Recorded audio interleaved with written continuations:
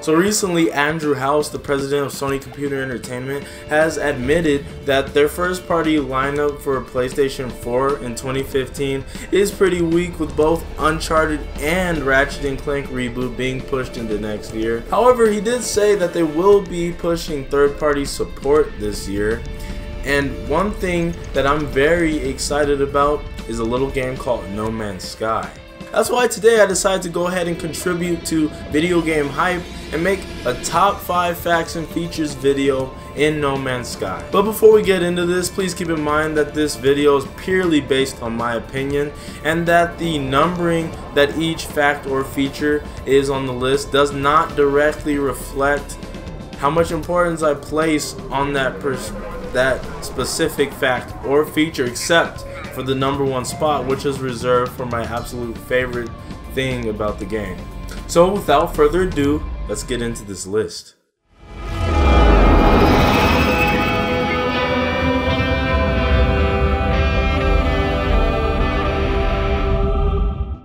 The entire world of No Man's Sky is procedurally generated. Basically, Hello Games is using mathematical equations to help the game to decide when and where and how something should be built. Now you might ask if this game is supposed to be completely procedurally generated including the soundtrack then how is it also going to be a shared world where everything is the same it's the same universe on everyone's copy of the game the answer is actually simpler than you might think. Even though everyone has their own copy of the game, the world is still generated from the same seed which means that everyone's going to be using the same equations, same the same math to generate the same things in the same locations at the same times that they would be and on anyone else's system. And that's because quite frankly 2 plus 2 is always going to equal 4 whether it be 64 years from now or 32 years in the past even a million it's 2 plus 2 will always equal 4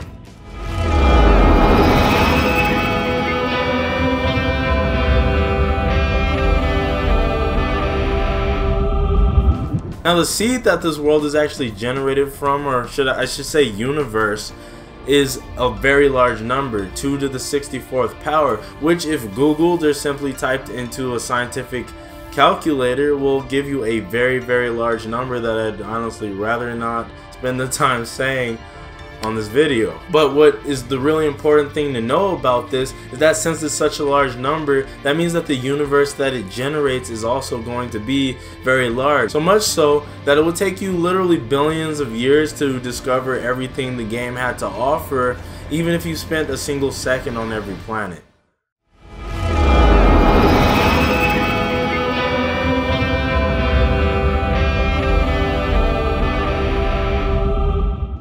According to Hello Games, this is pretty much your spaceship sci-fi fantasy of a game. You can do anything from being a trader for whatever reason if you want to do that, or you can be a botanist or even a space pirate if you so wish. This sounds really cool. Just think about the infinite playtime you can get from this game. You can play it for ages, you know, off and on. Obviously, you probably won't be playing this, this be the only thing you play, especially if you really enjoy video games. You're gonna play a wide selection of games, but this is something you can always come back to. Just imagine if you're bored of being an adventurous explorer who liberates solar systems from evil, malevolent forces you can go ahead and become a volcano diver. It's it's crazy the amount of selection and customization and things that you can specialize in in this game. And you have an infinite world and you know you can do whatever you want. There's no real urgency in this game.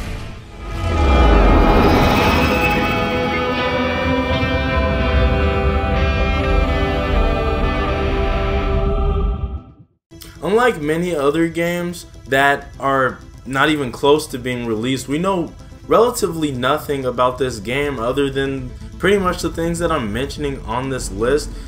And that actually is a good thing in my opinion because it takes me back to a time where I was younger and I wasn't, you know, looking on the internet and all these things about these games and everything wasn't just revealed to us. Right away. It gave you a chance to imagine what could be and what would be once you got your hands on that game. And you got really excited. You know, a lot of the excitement comes from the journey, not the destination.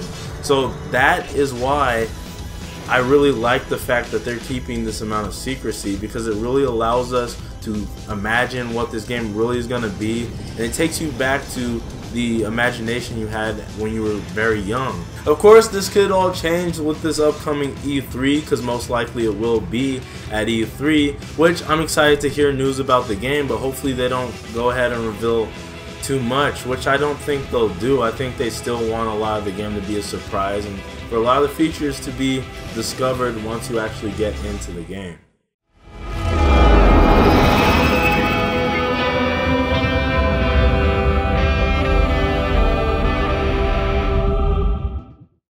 Just as the game's size is virtually infinite, I see an infinite amount of potential for this game. This game could literally start at the beginning, you know, it, it, starts off as this lone wolf exploration game where you're going and discovering new species, new planets, and things. But eventually, who knows what Hello Games' final vision for this game is, and if there even is a final vision.